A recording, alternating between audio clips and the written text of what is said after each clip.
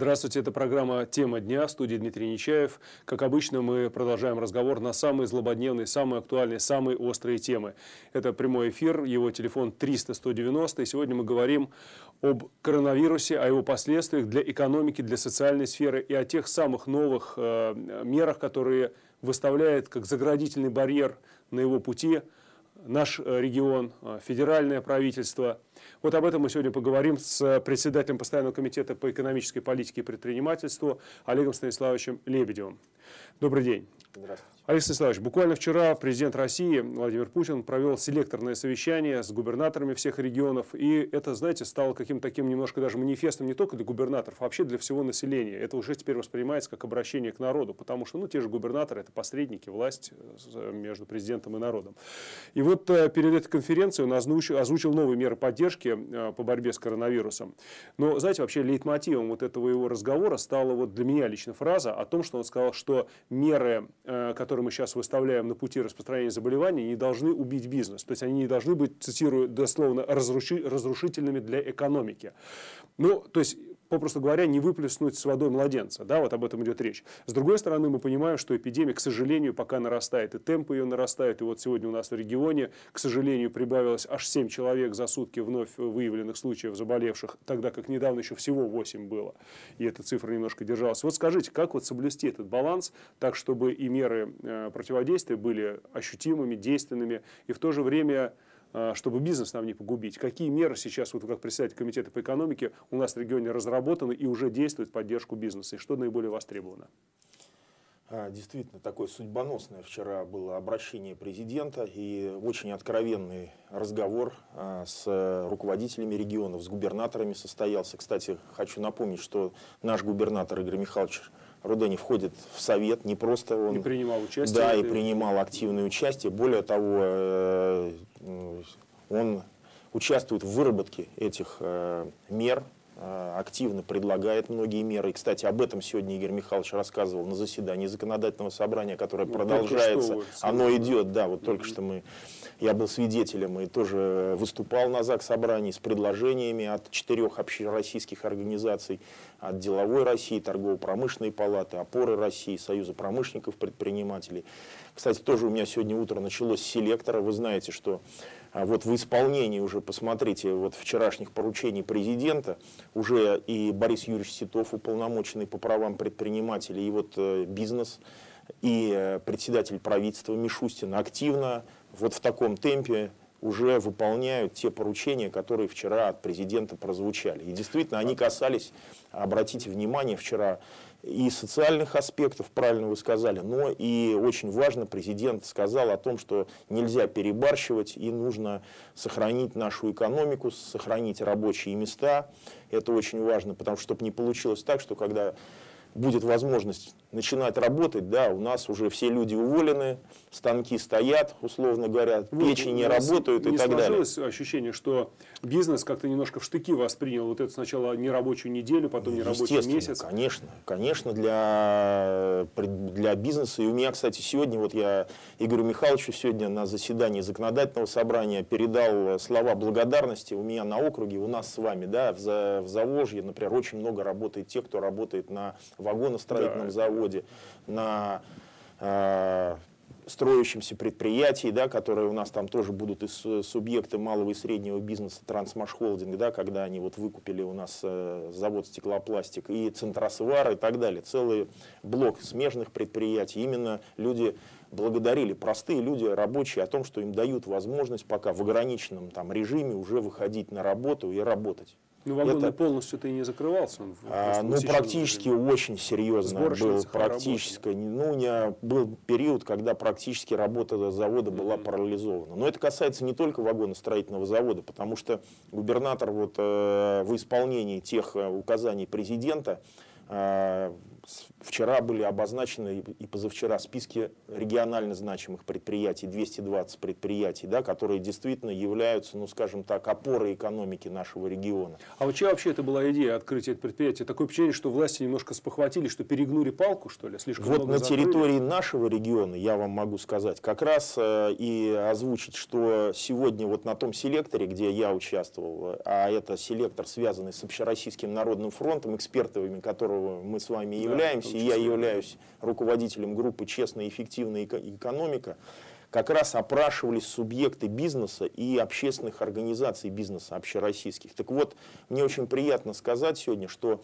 Тверская область по а, этим показателям, а их там достаточно много, оперативность принимаемых законов, ну, а, льготы, которые предоставляются бизнесу, по взаимодействию с э, уполномоченными общественными организациями. Вот смотрите, наш регион сегодня устойчиво по ЦФО входит в первую пятерку, ну там по разным показателям, причем где-то мы даже в тройку входим, но по- практически по всем показателям в первой пятерке, а по Российской Федерации в первую двадцатку, а по некоторым показателям даже в первую десятку.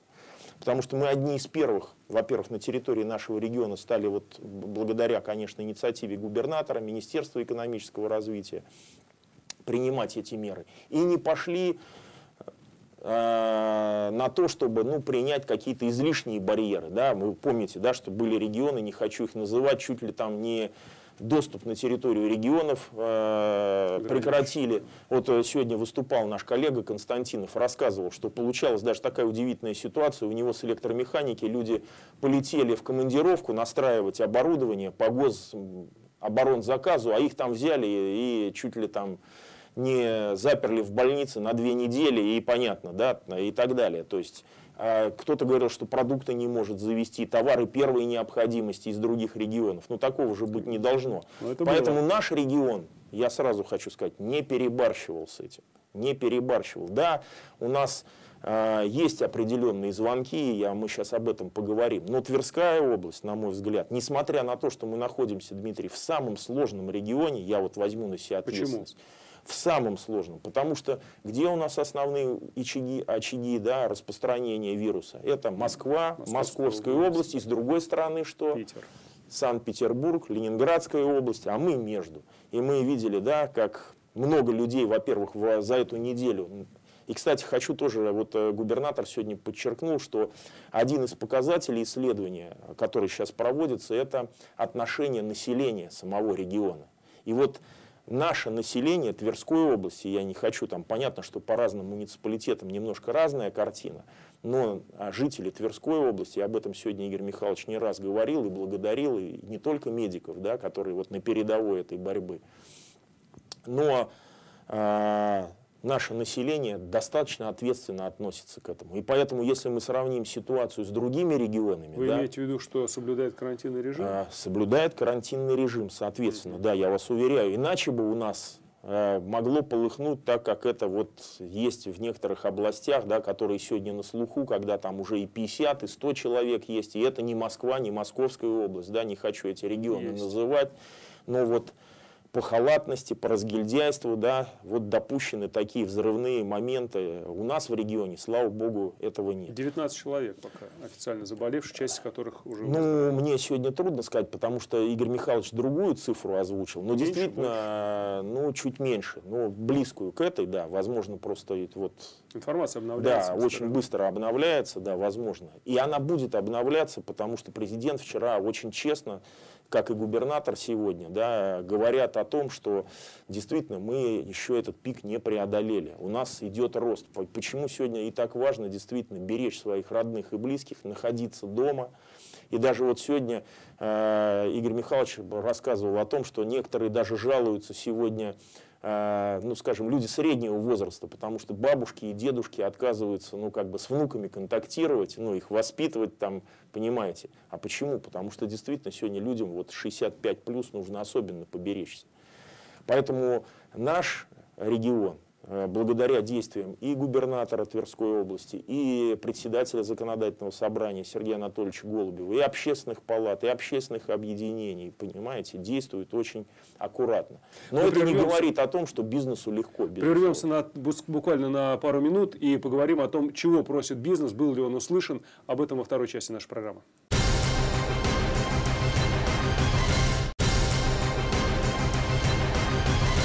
Мы продолжаем нашу программу. Это тема дня. Телефон прямого эфира 300-190. В студии у нас председатель постоянного комитета по экономической политике и предпринимательству Олег Станиславович Лебедев. Мы сейчас продолжим разговор вот о чем. Буквально только что вы вернулись со встречи с губернатором. Глава нашего региона обратился к областным парламентариям э, с, таким, с такой речью, с обращением, где он проговорил, говорил о том, какие меры сегодня поддержки оказываются и в социальной сфере, и бизнесменам. Вот мне, знаете, больше всего интересно про все-таки экономику, про бизнес. Слышат ли друг друга власть и бизнесмены? Есть ли вот этот контакт, есть ли диалог? Какие конкретные меры поддержки сегодня требуются и какие реально оказываются и будут оказываться? Что нового вот в этом вопросе? Ну, во-первых, э, я уже говорил о том, что наш регион один из первых э, разработал план этих мер. Мы вообще в ЦФО, по-моему, были или первыми, или вторыми. Вот сейчас вообще из всех регионов Центрального федерального округа Тверская область была первой или второй по разработке вот этого плана и мер. Причем он постоянно дорабатывается, мы видим, да, в него вносятся изменения, меры эти поддержки нарастают. Ну, сначала, потому что думали, что ограничения будут там 7 дней ну, да, и происходить. нарастает. И сам коронавирус нарастает. Это первое. Второе. Со всеми этими мерами можно а, ознакомиться. Их достаточно большой набор. Если надо, я, конечно, проговорю их, но каждый предприниматель может зайти на сайт «Мой бизнес», нашего да, нового современного центра, который у нас построен на территории, на здании бывшей швейной фабрики на проспекте Победы.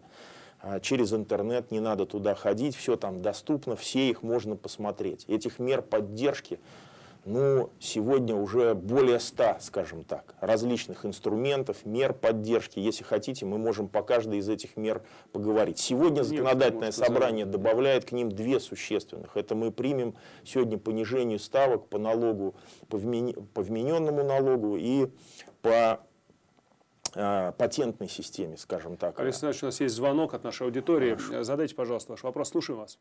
А, здравствуйте, Александр Анатольевич меня зовут. А, сейчас я хочу высказаться по поводу того, что происходит. А, сейчас важно соблюсти баланс вот безопасности, да, вот э, оставаться дома и максимально дать возможность людям, которые работают, которые остались без зарплаты. Вот сейчас, слава богу, прорыв произошел. Вот по себе я скажу, я работаю на дядю, да. Вот две недели я без зарплаты остался, две недели. Сейчас вот я выйду, да, но, так сказать, э, прибыль-то в кассе у нас не прибавилась от этого. И вот как эти меры, которые, о которых вы говорите, все вроде хорошо, правильно, красиво, насколько быстро наши сотрудники, да, не только нашей фирмы, а многие начнут получать, войдут в прежний режим. Вот сейчас нужно вернуться э, от этого шока, очухаться и начать э, выплачивать реально, чтобы до людей доходили э, те деньги, чтобы прибыль пошла в кошельке предпринимателей, чтобы возрождение. И обязательно проанализировать, провести серьезную работу над ошибками, то, что у нас произошло. Потому что вот э, я как родитель посмотрел, как мне звонят родители, говорят, а как войти в электронный дневник? Оказывается, управление образования до сих пор не навело порядок с электронными дневниками, понимаете? Потому что на дистанционном обучении столько много проблем возникают, и родители в шоке, и срываются. Здесь, конечно, спасибо, нужно спасибо, больше работать с классными понятно, руководителями. Понятно. Ну, разделяю ваши тревоги, э, потому что сам родитель а, тоже. Да, Игорь Михайлович сегодня о социальной сфере очень много говорил. Говорил, кстати, и о дистанционном вот, образовании, да, о работе школ, о питании. Очень подробно отвечал на все вопросы. Действительно, сложности есть, но тоже хочу обратить внимание, вот мы по опыту нашего с вами а, Заволжского района знаем, и слава богу, у нас в Заволжье, вот, например, э, школы очень ответственно многие к этому подошли. Да, ну, есть школы, вот, э, да, в меру, безусловно, конечно, потому что, во-первых, и компьютерной техники не хватает, ее не хватает оборудования как в школах, так и в семьях, скажем да, так. по-разному, конечно. А не везде устойчиво интернет работает. Тяжело тем семьям, где 2, 3, 4 ребенка, потому что, ну, понимаете, задача очень усложняется, когда надо сразу там с двумя-тремя детьми заниматься. Мы это все с вами понимаем понимаем. И Игорь Михайлович обо всем этом говорил. Конечно, в Москве в какой-то плане это проще.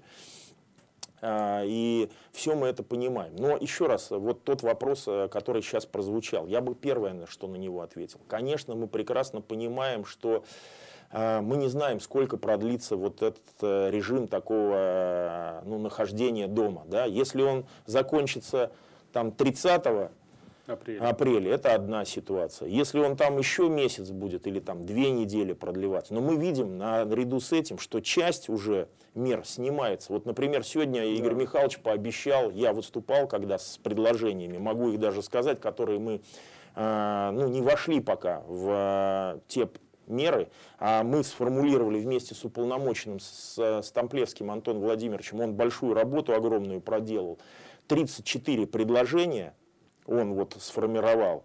Кстати, четыре из них на заседании правительства были поддержаны вместе с Минеком. Только четыре из 34. Ну, потому что я тоже не со всеми из этих предложений согласен. А я вот объясню. Смотрите, например, такой... А два предложения вот мы сегодня примем. То есть процесс этот идет. Вот, например, сегодня я с голоса э, говорил о парикмахерских. Да, да вот, кстати, это а, и... нашла сфера услуг, когда она даже на федеральном а, уровне признана Да, и Игорь Михайлович сказал, что мы сейчас с этим внимательно разберемся, посмотрим, угу. и, возможно, в ближайшее время, соблюдая, естественно, режим, чтобы у нас большого скопления людей не было, если там площадь зала маленькая, ну понятно, значит, один мастер должен работать mm-hmm. или два, ну понимаете, да, в масках там и так далее. Но сказал, что буквально на ближайшем вот э, совещании будет рассмотрено, например, и этот вопрос будет э, принят а, дал поручение в недельный срок рассмотреть все-таки и вернуться к тому вопросу, который я неоднократно поднимал и участвовал при разработке закона о самозанятых. Потому что мы сегодня понимаем, что у нас, особенно в тех районах, которые прилегают э, к Московской области, очень много людей работает в Москве. Они у нас как бы числятся нигде, понимаете, а они работают. И нам очень важно понимать с вами, что это люди. Работают в серой э, схеме экономики, да, просто условно говоря, получают пособие и не хотят работать. Или они замечательно трудятся в Москве, получают там высокую зарплату, это хорошо, но в социальные-то услуги их, и они, их семьи получают здесь. И вот сегодня Игорь Михайлович очень большое внимание уделил подготовке профессиональных кадров, особенно медицинских. Вот наши сегодня коллеги от КПРФ там подняли вопрос о наличии э, вот, аппаратов дыхательных да, и наличие специализированных коек. Но у нас с этим-то замечательно по штукам, понимаете. И более того, мы их и в порядок приводим, и докупаем, и койки. Но Игорь Михайлович ему объяснил очень внимательно, что проблема сегодня не в этом у нас в регионе, а у нас не хватает квалифицированных кадров. Должны да. быть врачи, реаниматологи. И он, в один врач, не может обслуживать одновременно более шести таких вот аппаратов. И то шесть уже тяжело. А аппарат должен работать круглосуточно. Значит, соответственно, на этом аппарате должно три врача быть, понимаете? И у нас-то вот в этом сегодня проблема, как нам сохранить наши кадры. Поэтому, опять же, Тверская область одна из первых, еще не дожидаясь, опережая указ президента о том вчера, о чем Владимир Владимирович э, Путин сказал – стала поддерживать наших медиков, понимаете, да, выделять дополнительные средства нашим врачам, чтобы они не ну, уезжали в Москву. Надо заметить, что еще 48 миллионов рублей федеральных средств на поддержку медиков. Совершенно верно, об этом тоже и это огромное спасибо. Игорь Михайлович сказал, что мы чувствуем заботу и поддержку и президента, и председателя правительства. Тем более нам всегда приятно говорить, что все, Владимир Владимирович наш земляк, да, здесь его корни тверские, это его вторая родина после города Санкт-Петербурга. Это Поэтому... мы поясним просто нашей аудитории, что это дополнительно на стимулирование работников. Совершенно верно. Э, Но они все области выделяют, э, как мы, понимаете, еще свои средства. Да, плюс к этому еще региональная. Поэтому наша региональная составляющая здесь тоже очень важна. Посмотрите, мы одни из первых разрешили объектам туристической индустрии работать. Вот э, я тоже сегодня в своем выступлении все, да, говорил о ситуации, сложившейся на территории Селигерского края потому что там действительно есть и Осташковский район, и Пеновский, и Сележаровский. Но так получилось, что там все объекты сегодня, поскольку ну, они да. в курортную зону попадают, закрыты. И Игорь Михайлович э, тоже сказал, мы обязательно сейчас с Министерством туризма Тверской области к этому вопросу вернемся. И обратите внимание, не когда-то, а в течение разговор идет одного, двух, трех ну, сейчас дней. действительно очень быстро события И я вам э, скажу, что Игорь Михайлович настолько глубоко погружен во все вопросы. Сегодня не было ни одного вопроса, который бы Игорь Михайлович, ну, условно говоря, поставил бы его в тупик, или он бы был не в курсе, или понятно. Он все очень четко по полочкам раскладывает, он абсолютно в курсе. Даже вот сегодня коллеги э, рядом со мной, там э, у нас мой коллега Козлов сидит, главврач областной больницы, Глебова Екатерина Петровна, они мне говорят, слушайте, ну насколько губернатор владеет обстановкой, цифрами, знаниями, ну, такими специфическими, понимаете, которыми могут владеть только, извините меня, профессиональные врачи. Я сам был, ну, просто поражен. В площадности до, там, э, количество этих э, в каждом муниципальном образовании, этих аппаратов, как работает у нас санавиация, как работают машины скорой помощи, очень он, для него это внимательно, вот он, как вернуть наши кадры, ситуация с нашей, мед, нашей медакадемией, потому что получается, что действительно мы сегодня кадры-то там готовим, а потом они разбегаются в соседние да, регионы. Готовим, да. Получается для Москвы, Московской области. И вот он сегодня обратился к нашим коллегам, депутатам Государственной Думы, нашим сенатор сегодня присутствовал, Андрей Николаевич Епишин, и губернатор им сказал, давайте поднимайте на федеральном уровне вопрос, что пока мы, извините меня, нашу Тверскую область не обеспечили врачами, особенно таких дефицитных специальностей, как реаниматолог, понимаете, которых сегодня максимальный дефицит вот, э, выявил. Это очень важно. Ну, сегодня тоже могу поздравить э, жителей Тверской области, потому что губернатор уже с высокой трибуны э, сказал о том, что на уровне правительства принято уже решение, выделены деньги подписано решение и о тому, что в этом году мы приступим к строительству детской областной больницы, вы помните, ну, да, эту да, трагедию. И самое главное, что нам обещано о том, что на, с большой вероятностью нам будут выделены деньги и для строительства нового инфекционного, инфекционного отделения, либо отдельной больницы на территории области. Вот. У нас есть звонок, давайте дадим возможность нашей аудитории поучаствовать в эфире. Слушаем вас, задавайте ваш вопрос. Здравствуйте. Здравствуйте. Говорите, Здравствуйте. Говорите. На территории Заволжского района находится военный госпиталь. Скажите, пожалуйста, как-то потенциал его будет задействован в данной ситуации? И врачи, которые там заняты. Давайте я отвечу. Спасибо за вопрос. А, да, действительно, сегодня этот вопрос, опять же, вот смотрите, Игорь Михайлович поднимал, потому что задавалось. И опять же, по поручению президента Российской Федерации Владимира Владимировича Путина и председателя правительства, сегодня а, губернаторам дано право привлекать а, к решению медицинских проблем и, скажем так, федеральные медицинские учреждения и ведомственные, ну, например, там больницы РЖД, вот госпиталь, о котором мы говорили, да, у нас есть объекты здравоохранения, там, например, которые обслуживают Удомель, Удомельскую атомную электростанцию и так далее. То есть сегодня действительно а, президентом такие серьезные полномочия губернаторам э, да, переданы. Путин, Путин сказал, что действует сегодня по какому-то единому шаблону, я цитирую, не только неэффективно, но подчас и вредно. И передал, делегировал полномочия губернаторам. Да, и я вот еще раз хочу Самое сказать... Главное, ресурсы, что он делегировал еще да. и часть ресурсов. И я могу, вот мне очень, мы помните с вами остановились на том, что наша область очень сложная, очень специфичная. Ну, мы сейчас что регион, наблюдаем да. сегодня, тоже и об этом и Игорь Михайлович говорил, и статистика показывает. Действительно, к нам сюда ринулись москвичи москвичи, понимаете, да, из Москвы. Более того, сейчас наблюдается, как Игорь Михайлович сказал, взрывной рост, начали скупать все недострои, дачи, которые оформлены документально, понимаете, которые там годами были никому не нужны. Не было бы счастья, э, несчастья. Да, в какой-то степени, да. И мы видим, я вот просто разговаривал, недавно был в магазине «Универсал», разговаривал с продавщицей магазина «Универсал», а магазин находится в Калининском районе. Я там часто бываю. Они говорят, слушайте, ну мы такого никогда не видели. У нас такой в выходные дни был шквал покупателей, мы не могли закрыть магазин. Причем мы же знаем всех наших покупателей. Это не жители близлежащих деревень, там, города Твери, это явно машины с московскими номерами, понимаете, да, они приехали, смели там у нас, ну, все это как бы продовольствие. Тоже для нас это не очень, потому что хорошо, предпринимателям-то выгодно, конечно, но чтобы у нас пустые полки тоже не остались. Почему вот президент говорит, нельзя и границы закрывать. И важно, чтобы э, оказать сейчас поддержку нашим э, предприятиям пищевой промышленности, прям целый блок, особенно хлебопекарный. Причем, вот обратите внимание, Дмитрий, сегодня губернатор говорил о том, что вот сейчас формируются вот эти пайки для детишек, ну мы же кормим, да, причем наш регион один из немногих и один из первых, кто э, кормит детишек в школах, да, и младших классов, и, ну, скажем так, из тех семей нуждающихся.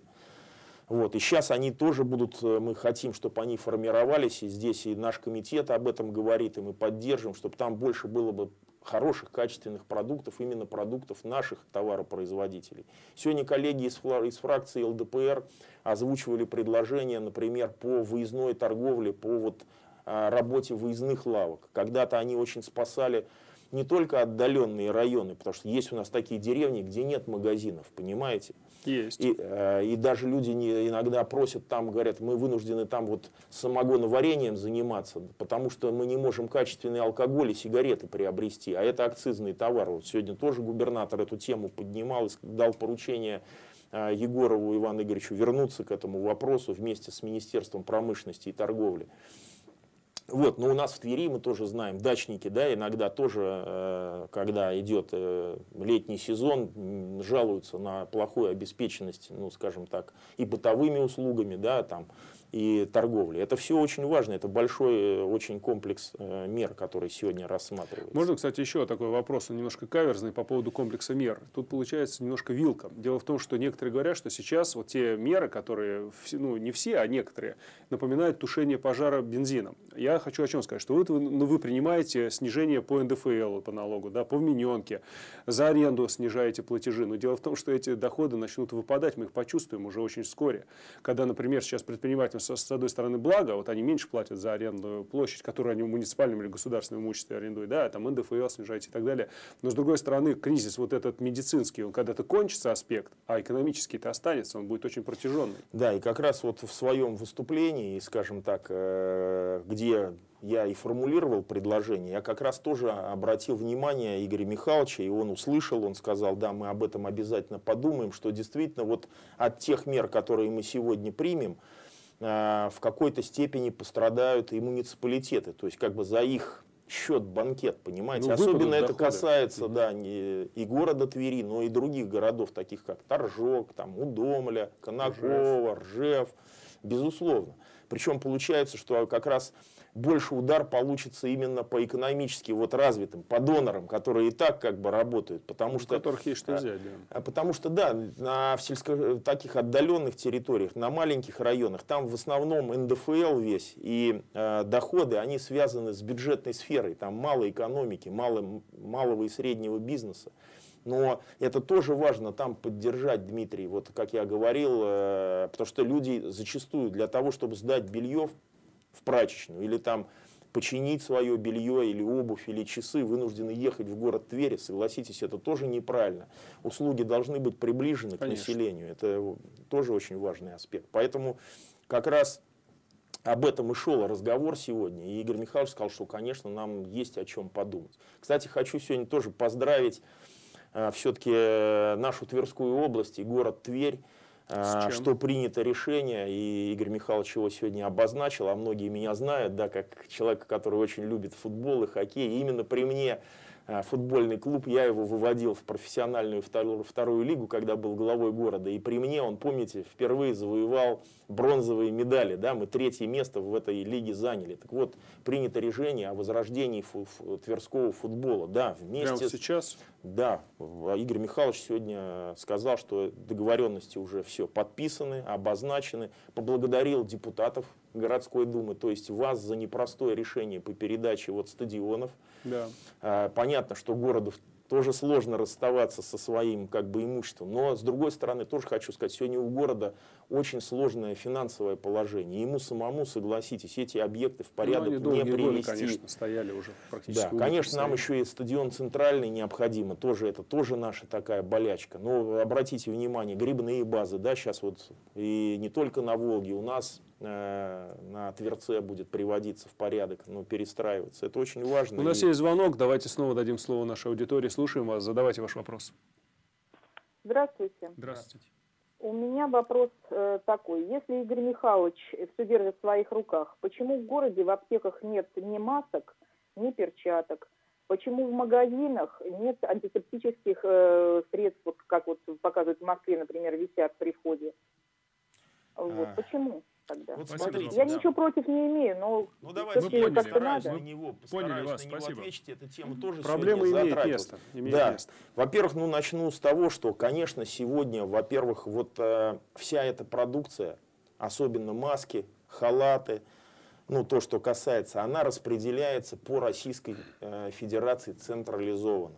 Понятно, да? Только по российской за рубеж не идет сейчас. А, ну, наверное, по решению президента, наверное, мы оказываем помощь э, каким-то государствам. Ну и нам оказывают. Да, мы закупаем сейчас в Китае э, десятками миллионов средств защиты. Так вот Это где они государство вот делает. Вот теперь давайте вернемся, где они. И сегодня мне тоже вот звонили, и часто звонят наши возмущенные жители. То с пролетарки мне звонят, то что гречка дорожает. Помните, как было, да, там, и там сметают какие-то продукты. Сейчас это сумасшествие с лимонами, чесноком. Имбирем. Имбирем, да. Причем тоже для кого-то, не поверите, для кого-то, как говорится, война, а для кого-то праздник и мать родная. Вот не поверите, разговаривал с одним предпринимателем, нашим тверским, он, правда, сейчас в Москве работает, но на стыке Москвы, Московской области и Твери. Он говорит, Олег Станиславович, я 8 миллионов рублей заработал вот за эти две недели. Вдумайтесь, 8 миллионов чистого дохода, у меня аж глаза. На гречке. Нет, на имбире, лимонах и, понятно, на имбире и лимонах.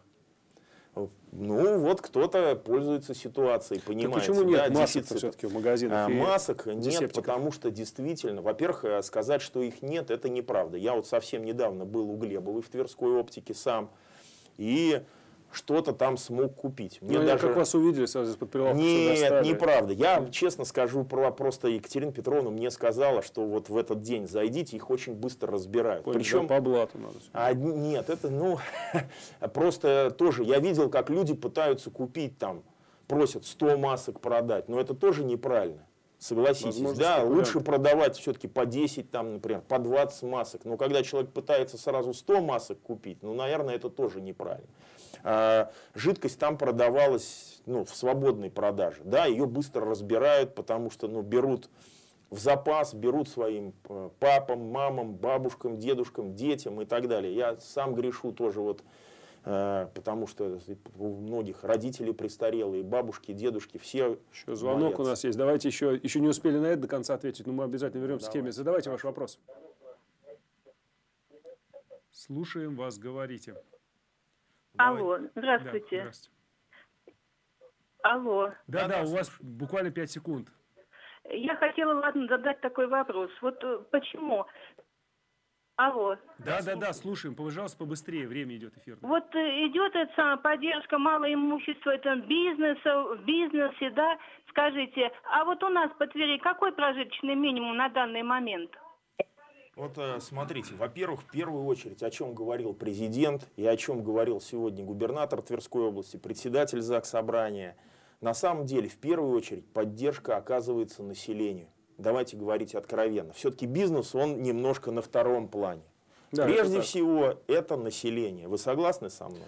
И сегодня, опять же, Тверская область одна из первых пошла на то, что через э, службы занятости приготовиться к выплате денежных средств тем, кто будет вот уволен не только за счет э, средств федерального бюджета, которые поступят, но и за счет регионального бюджета. Согласитесь, у нас тоже лишних денег в области нет, и долги большие Игорю Михайловичу достались в наследство, хотя он справился с этой задачей уникально. Да, Тверская область по снижению долговой нагрузки одна из лидеров ЦФО. По-моему, по ЦФО мы вообще на первом месте.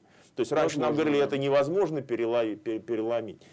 Так вот, а, Прежде всего, меры поддержки, конечно, направлены на многодетные семьи. Губернатор, вы знаете, огромное внимание уделяет этой категории. А, Смотрите, наша область наконец-то приняла закон о детях войны, да, и им тоже сейчас к 9 мая будут выплаты очень серьезные сделаны. Конечно, нам хотелось бы, чтобы отдельно появился закон и о детях-сиротах войны. Мы да, знаем, есть еще категория, она внутри как бы находится, но это люди еще более обделенные, которые как раз вот были одними из инициаторов бессмертного полка, когда они с портретами погибших да, своих идут. А сегодня а, мы как раз вот э, с Дмитрием являемся представителями Общероссийского народного фронта. У нас работает горячая линия. Да, звонками она, конечно, переполнена. Но есть возможность даже честно вам скажу, получить не за деньги у тех, у кого нет возможности, обратиться или по этой горячей линии, или в фонд соцзащиты. У нас мы сталкиваемся действительно с такими случаями, когда волонтеры приезжают, медики вот, привозят людям продукты пожилым, а представляете, у них не хватает денежек даже за них заплатить. Ну, представляете, насколько тяжело. Причем там не то, что какие-то продукты, продукты первой необходимости. Молоко, хлеб, макароны, крупа, то есть никаких там деликатесов нет. Не имбирь с лимонами. Не имбирь с лимонами. И сегодня органы соцзащиты области, вдумайтесь, и губернатор сегодня сказал, что мы добавим обязательно еще туда средства, и они там еще не закончились, органы социальной защиты Тверской области идут на то, чтобы вот в таких случаях, когда ну, действительно у людей денежки закончились, бесплатно выделить э, вот продуктовые наборы. Ну, то неформально подходит, молодцы. Я, кстати, добавлю в эту копилку, что безработным гражданам предусмотрены дополнительные выплаты в размере 3000 рублей на несовершеннолетних детей. Это тоже вот одна из мер, которая буквально А у нас была. выплата, да, при, по, по минимальному стандарту 12,5 тысяч э, в месяц. Это, конечно, немного, но сегодня к нам обращаются очень много людей, которые э, работали в черную или в серой схеме. И их люди сегодня выгоняют, вот понимаете, да, с работы. Ну, потому что у них трудовые отношения либо вообще не оформлены, либо там на минималку, понимаете, остальное там в конвертах получают, да. И это не от хорошей жизни часто. Поэтому где-то действительно это неправильно. Но Игорь Михайлович сегодня очень четко сказал. Ну, конечно, нам тяжело помогать тем, кто даже своим сотрудникам минимальную зарплату не платил. Понимаете? А у нас есть такие муниципальные образования, я не хочу их сейчас называть, мы их хорошо знаем где у нас люди сами, извините меня, трудятся, понимаете, трудятся, получают зарплату вообще в конвертах, получают из, через службу занятости как безработные деньги, сами еще вечером умудряются на рынке торговать, понимаете, грибами, ягодами, людей пускают, туристов, ну, понятно. Ну, согласитесь, это тоже неправильно. Почему вот одно из моих предложений было по вопросу самозанятых? Сегодня мы тоже поднимали, Игорь Михайлович пометил, что где-то есть перегибы сотрудников полиции, такие звонки нам поступают, особенно вот не по Твери, сейчас как-то по Твери, по работе вот этих там всяких различных точек, которые, к сожалению... Да, вот, кстати, вы сказали о том, что некоторые сейчас серую работают. Вот у нас даже недавно мы выезжали, делали сюжет, наш канал. Буквально в центре города Твери работает салон, где вот какие-то курительные смеси потребляют. И один даже был из посетителей или работников этот салон, муж не установили, точно даже в майке волонтер-медик был зафиксирован зафиксирован, ему сказали, что ну ты либо, как это в анекдоте, либо майку сними, либо выплюнет сигарету изо рта. Сегодня вот э, как раз мы и просили угу. губернатора, и он, кстати, нас поддержал, что направить сейчас энергию правоохранительных органов, потому что ко мне поступают жалобы, а вот э, по-прежнему работа этих псевдорюмочных, которые в жилых домах находятся, вот они не закрылись, потому что у них лицензии нет, у них, понимаете, отобрать нечего.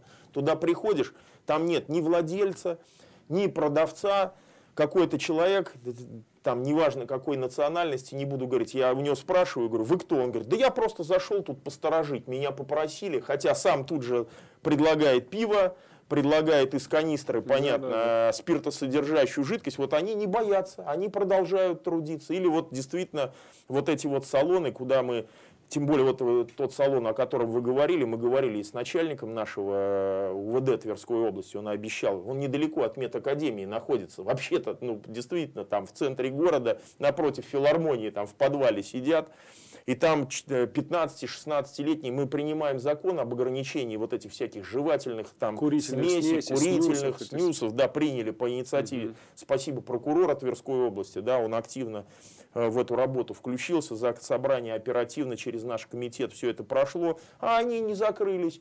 Или там стоит в этом салоне на входе, понимаете, да, девочка или мальчик, и своих пускает, ну понимаете. Смотрит, как это, пароль свой, да, чужой, да. и там дым коромыслом. Я считаю, что, конечно, нужно сейчас вот энергию, а потому что бывает, звонят люди, там, например, из Вышнего Волочка мне был звонок, например. Пришли полицейские, но работает продовольственный магазин. Понятно, у него рядом есть отдел хозяйственных товаров. Ну, понимаете, да, магазин местный, небольшой. Но зачем сейчас людям? Ну, пусть торгуют, потому что кому-то, условно говоря, там, может, гвоздей каких-то надо или шурупов купить на дачу, понимаете? Ну, или клей какой-нибудь купить. Ну, пусть люди купят, обои купят, Дмитрий. Я думаю, что только содействует самоизоляции. Да, а то ведь иногда же у нас как бывает, заставь кого-то, так и лоб расшибем. А этих мы не замечаем, потому что их неинтересно шерстить, понимаете? Потому что как с ними работать-то? У него лицензии нет, понимаете, да? Что с него получишь? Ну, если только что-то забрать там в пакет, понятно, и унести. И они продолжают разливать этот алкоголь, отравлять алкоголь э, алкоголем. А какой алкоголь-то? Я еще раз говорю, я даже не стесняюсь. Это у них основной товар, это э, спирт в канистрах, который они с водой разбавляют. Я сегодня э, поддержу своего коллегу Барастова и, наверное, может, крамольную вещь скажу. Я за то, чтобы вот эти автолавки, которые ездят по области, им бы разрешили торговать и сигаретами, и алкогольными напитками, особенно если это алкогольные напитки наших тверских товаропроизводителей. Вы крамольную мысль говорите. Крамольную, да, крамольную. Но пусть на меня, вот да, это сложная вещь. А мы напоминаем, что курение и употребление спиртных напитков вредит Но если люди здоровью. употребляют алкоголь, пусть они лучше его употребляют э, легальный, раз, выпущенный на наших предприятиях, эти предприятия платят налоги, понимаете, зарплату хорошую людям, налоги поступают в бюджеты, из этих бюджетов мы будем ремонтировать наши больницы, школы, детские сады. Вот я так рассуждаю. Алексей Александрович, ваша речь нашла отклик у нашей аудитории. Еще есть звонок. Слушаем вас, говорите. Здравствуйте. Здравствуйте. Я хотела задать вопрос. Да, пожалуйста. Э, скажите, будет какая-то вот эта помощь пенсионерам в связи вот э, с этой обстановкой? Дополнительные меры поддержки. Я бы попросил, да, да сейчас Спасибо. уточнить еще раз телефон э, вот нашего штаба, да, то, там линия перегруженная, да, я иногда туда по 5-10 минут дозваниваюсь. Но дозвониться можно в наш Общероссийский народный фронт вместе с волонтерами Победы, вместе вот с медиками да, сегодня. Спасибо огромной медицинской нашей академии, э, там, исполняющему обязанности ректора, да, который к этому очень серьезно относится. Кстати, э, ведь это тоже его принципиальное решение, что сегодня многие, даже студенты и многие, скажем так, ну, кто э, ординатуру, аспирантуру Студенты заканчивают, СУЗов да, подключаются для да. того, чтобы идут в больницы, пытаются работать, помогать на вот этих вот аппаратах, которые есть, но простаивают. Понимаете, да, о чем я говорю? Это очень большое А что дело. касается помощи пожилым людям, те, кто не может, я не знаю, про какую помощь имею а, в виду. Я, есть волонтеры, раз... которые продукты могут принести да. в аптеку, сходить. Да, единственное, что надо четко, работать. прошу тоже, у меня были вот жалобы буквально вчера, волонтеры не имеют права заходить к вам домой. Это Понимаете, да. они не могут помыть вам окна, убраться, это да. им запрещено это делать. А, звоните в органы соцзащиты тогда. Органы соцзащиты, вот я проверял, ну, на самом и деле работают, работают, работают, работают и огромное спасибо, я скажу, вот э, ушла сейчас Хохлова, да, она там возглавила Торжокский район, но большая работа ей была проделана, и люди неформально подходят. Я не слышал ни одного, кто бы мне сказал, там, не нахамили, не помогли, нет, не нет, подсказали. очень заинтересованы, с пристрастием. Поэтому надо просто еще раз не стесняться, обращаться за помощью, звонить в эти волонтерские центры, звонить в органы соцзащиты и помощь, особенно старшему населению, особенно тем людям 65+, а мы понимаем, да, что ну, они наиболее, так скажем, в опасной зоне находятся конечно, будет приоритетно оказываться. У нас не так много времени остается. Я напоминаю, что мы работаем в прямом эфире. Телефон 300-190. У нас в студии представитель Постоянного комитета по экономике, экономической политике и предпринимательству Олег Станиславович Лебедев. Сегодня мы говорим о мерах поддержки бизнеса в непростом период, непростой Про период. бизнес-то мы пока ну, поговорили очень мало. Вот, вот что еще сегодня, да. какие решения? Уже вот я уже да. говорил да, о том, что Игорь Михайлович сказал, что в ближайшие дни мы уточним, угу. расширим перечень видов деятельности, которые будем потихонечку на рынок выпускать. Э, то есть голос нашего уполномоченного Стамплевского Антона Владимировича и четырех общероссийских организаций, еще раз назову, Торгово-промышленная палата, Союз промышленников, Опора, Деловая Россия, он не канул никуда. То, что предприниматели очень многие звонят э, и обращаются вот э, в мой бизнес, очень важно. Там все фиксируется рейтингуется, галочки ставятся. Я сам проверял, звонил. Да, линии тоже бывают загружены, но, скажем так, 90%, а я звонил несколько раз, и при мне люди звонили, скептики, я им говорил, набирай при мне, вот звони. И вы знаете, некоторые предприниматели были опозорены. Они говорили, нам там не помогут, ничего не скажут, нас там отфутболят. Я говорил, вот звони прямо при мне. И вы знаете, результат был. Да, не, стопроцентный. Во-первых, стопроцентные они не могут дать, но 80-90%, ну скажем так, вопросов. Сегодня у бизнеса, вы вдумайтесь, э, и президентом, и нашим губернатором, и ЗАГС собранием принято решение о том, что мы будем ну, кредиты под 0% выдавать. Мы сегодня приняли, при, принимаем решение об увеличении фонда поддержки малого и среднего предпринимательства. Это когда бизнесу давали деньги под 0%. Ну, сейчас на выплату заработной платы. Ну, конечно, ну, прежде всего, процентов. конечно, безусловно. Я заканчивал свое выступление сегодня на ЗАГС собрании, и Игорь э, Михайлович меня поддержал. Это главное, первое, не мешать бизнесу, понимаете тому, который, ну, условно говоря, где нет отложенного спроса. Понятно, что сегодня самая тяжелая ситуация вот в туристическом бизнесе. Очень страдает бизнес по торговле непродовольственными товарами, мы понимаем, там обувь, одежда, ну мы понимаем, да, они закрыты, у них все стоит, и у них не накапливается отложенный спрос, что, что Это плохо. Так, да. В таком объеме, как вот парикмахерские как в Москве сегодня я с коллегами разговаривал, они говорят, слушайте, мы открыли, там ломанулся народ, ну потому что стричься-то надо, не все там, понятно, да, хотят же люди быть красивыми. У меня тоже те ребят, когда откроете, там женщины говорят, мы хотим педикюр, маникюр сделать, мы ходим уже, понимаете. Я говорю, так вы же дома должны сидеть. Ну как, мы же для мужей тоже хотим, чтобы тут все это было красиво. Их тоже можно понять. Мы прервемся буквально пару минут и будем уже подводить итоги.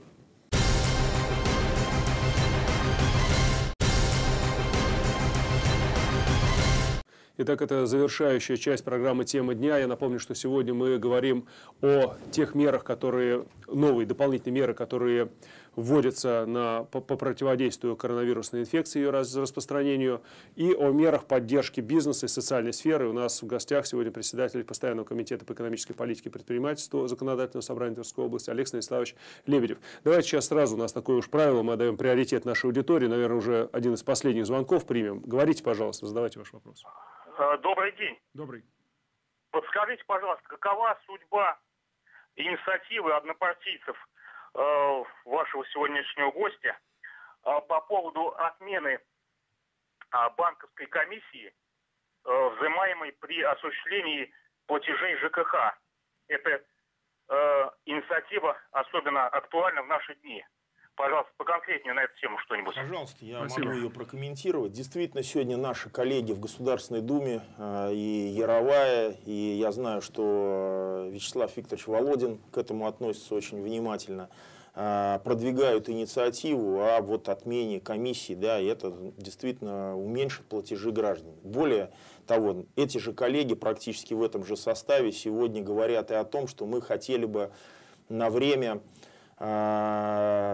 ну, на какое-то, может быть, на три месяца, на два месяца, не брать платежи за капитальный ремонт жилого фонда. Такая инициатива есть. Она сложная, проходит тяжелое обсуждение. Но я думаю, что вот первая инициатива с большой вероятностью будет принята. Хотя э, есть и другое мнение, что просто уменьшить этот платеж, ну, понимаете, да, сделать его там минимальным. Потому что есть регионы, где он 4% составляет, где-то 2, где-то полтора. Потому что некоторые говорят, что боятся, что люди, ну, не, некоторые платежные ну, банки или кто-то там не захотят эти платежи принимать. Ну, понятно, им станет невыгодно и будут людей футболить. Потому что не все умеют ну, пользоваться дистанционно, платить по картам, да, через гаджеты и так далее. Такая инициатива, она рассматривается, и я, вероятность ее принятия очень высокая. Это инициатива партии «Единая Россия» вместе с Общероссийским народным фронтом, она разработана и продвигается. Хочется сказать, пожелать, чтобы скорее бы. Ну и уже завершая, Алексей Станиславович, мы очень надеемся на то, что вот эти события, коронавирус, он вообще очень сильно проявил и людей, и власть, с чем-то справились, с чем-то еще нет. Но вообще в целом пока достаточно достойный, как э, органы власти говорят, что у нас по позитивному сценарию развивается ну, вот эта давайте ситуация. постучим по дереву. Да, я хоть не суеверный, вот, э, да, тут вот. готов присоединиться. Но вот еще в этих условиях очень много зависит от нас самих, от самих бизнесменов, да, и мы знаем, что даже в таких серьезных, трудных условиях э, многие находят в себе силы, чтобы помогать и продолжать те благотворительные проекты. Вот, например, поддержка дальнейшего достройки Спас-Преображенского собора в Твери. Я знаю, что некоторые бизнесмены продолжают и, выделять я средства. помогаю, да.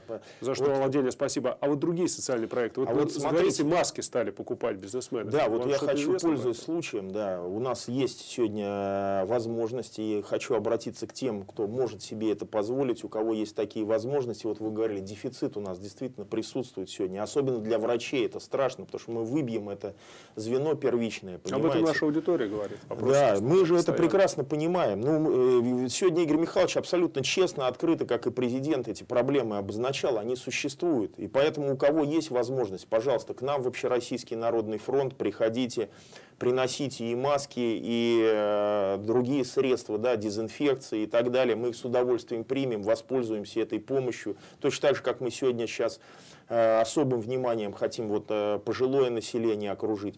Я ваш пример приведу. Вы, вот благодаря вашим усилиям, Дмитрий Леонидович, у нас в городе появился да, муниципальный приют для животных. И вы же знаете, сколько людей и сколько семей, даже вот у меня дочь моя, э, да, передает продукты, там, помогает этим собачкам. И многие да. люди даже в это сложное время и даже и людям помогают, и животным помогают. И я вам скажу, мы сейчас должны огромное спасибо сказать нашему митрополиту э, Саве и губернатору Тверской области, конечно, для нас очень важно, несмотря на вот эти все сложности, и достроить наш Спасо-Преображенский собор и колокольню. И, Я очень надеюсь, что э, все проекты получат достойное и успешное завершение. Мы благодарим вас за участие в нашей программе. Наше время, к сожалению, завершилось. Спасибо вам большое. Не болейте, берегите себя. Очень надеемся, что меры поддержки будут и дальше продолжаться, и они будут эффективными. Спасибо большое. Всего доброго. До встречи в эфире. До встречи.